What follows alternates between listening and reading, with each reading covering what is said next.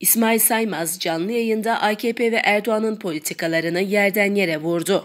Erdoğan Türkiye'yi demokratik bir şekilde değil, Afrika'da ya da 3. dünya ülkelerinde demokrasinin göstermelik olduğu bir ülke gibi yönetiyor çıkışı yapan Saymaz, biz Türkiye'yi liyakatsiz insanlara yönettirdiklerini tabii ki biliyoruz. AKP Türkiye'yi korkunç bir liyakatsizliğe mahkum etti.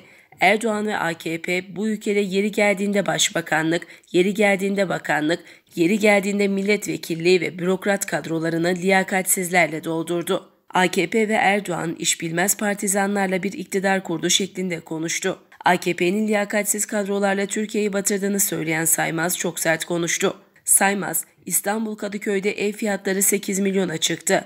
Kira bedelleri 14 bine dayandı. Bu ödenecek bir fiyat değil.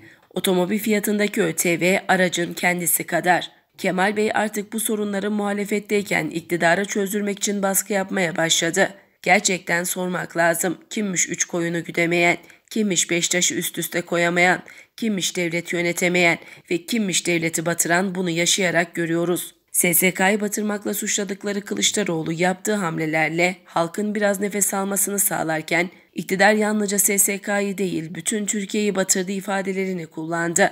AKP tabanındaki suskunluğa dikkat çeken Saymaz, AKP'nin kurmayları 2015'e kadar yaptıkları ihtişamlı tablodan artık örnek veremiyorlar. AKP'lilerin gardları fena halde düşmüş görünüyor.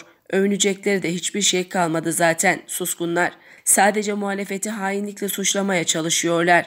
Ellerinde saldırıdan başka bir şey kalmadı. MHP'nin gençlerden ve yoksullardan oluşan tabanı da güçlü ve diri olduğu illerde buhar olmuş durumda dedi.